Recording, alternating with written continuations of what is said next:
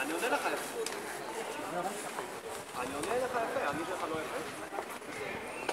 קיצור, אה,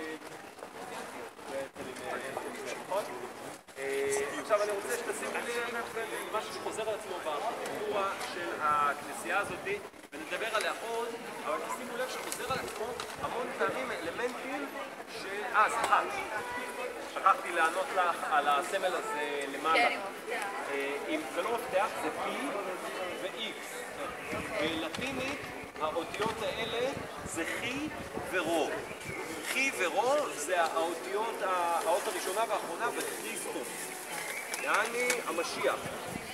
שתדעו לכם שאומרים ג'יזוס קרייסט זה לא בגלל שהוא מת על הקרוס, זה בגלל שהוא כריסטוס, הוא משיח.